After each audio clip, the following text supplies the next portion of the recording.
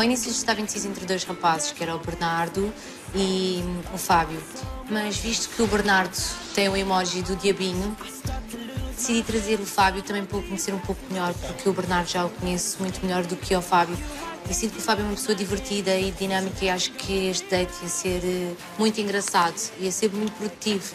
E ele ia me divertir como me diverte sempre na casa e daí ter escolhido o Fábio. Então, olha, quero-te agradecer o convite mais uma vez e estou a gostar muito de, deste tempinho contigo. Eu estou a gostar bastante de conhecer.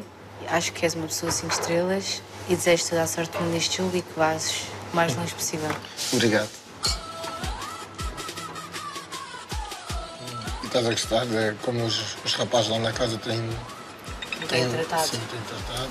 Sim, estou a gostar porque temos o Daniel que com a Sofia, pronto, tem uma, uma ex-relação, mas que ainda há ali um sentimento, mas o Daniel não deixa de falar comigo, desabafar, conviver comigo.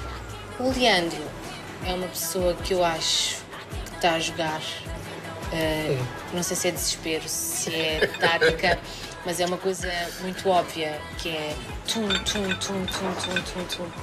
Mas E tu? agora eu, eu, tipo. E tu o que é que achas da Carolina Rodrigues? Da Carolina Rodrigues. Não, eu- foi o que eu disse logo no princípio.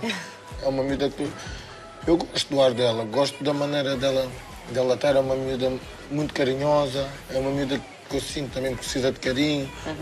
Não, não sei como, como, como explicar, mas é uma miúda que, que tem algo.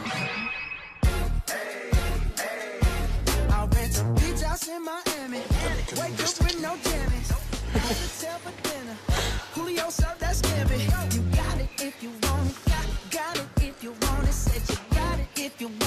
miles on it.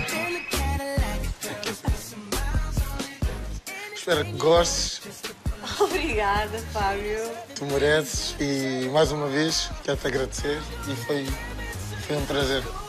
Claro que fiquei ainda mais satisfeita de o ter escolhido e acho que foi tudo perfeito e adorei falar com ele a sós, fora de tudo e de todos. Acho que foi muito bom para mim e adorei.